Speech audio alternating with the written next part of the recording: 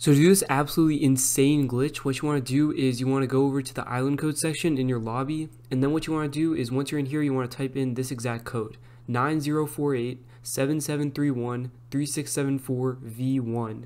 And then once you've typed in that code, what you want to do is click on the enter button and the map should be called chapter 3 the whole so now you just want to click on play and this will get you back to the lobby. So now what you want to do is you want to make sure that this is set to private and then just click on play and now once you're in here you just want to wait for the map to start so now once you load into the map what you want to do is head on over to any of these NPCs so I'm going to go over the consumables and then what you want to do is you want to talk to the NPC and then what you want to do is do the quest that they assign you.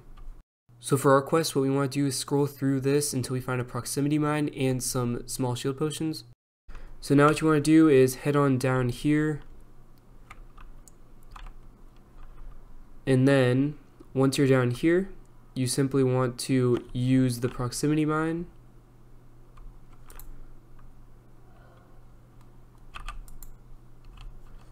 And then you want to use another one. And now you can drink your potions and you'll see in the top left your shield potions quest will go up each time you do this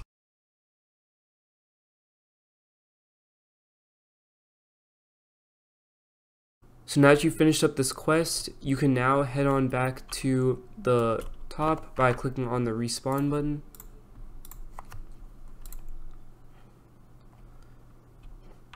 and then you can head back on over to that same NPC again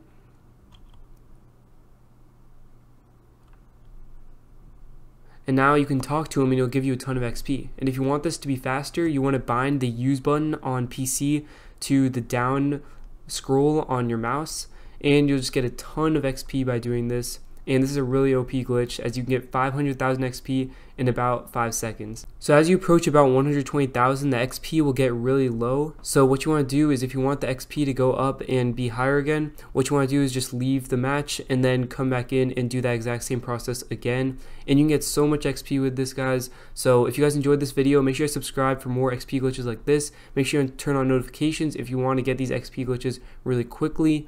And I'll see you guys in the next one.